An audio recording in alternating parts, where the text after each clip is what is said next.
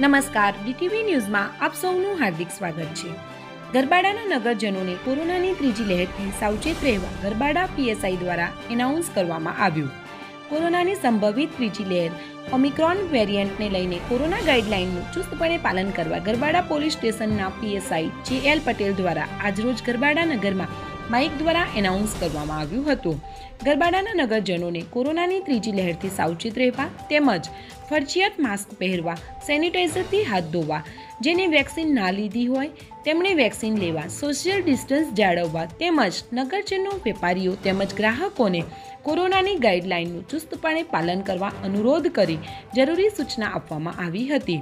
અને જે કોઈ પણ કોરોના ગાઈડલાઇનનો ભંગ કરશે, તો તેના વિરુદ્ધ કાયદેસરની કાર્યવાહી કરવામાં આવશે તેમ માઇક દ્વારા એનાઉન્સ કરવામાં આવ્યું હતું.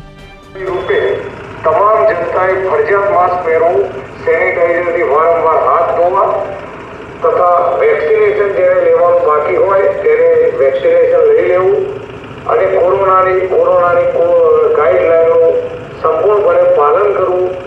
જો કોરોનાની ગાઈડલાઈનનો ભંગ કરવામાં આવશે, તો કાયદેસર કરવામાં આવશે.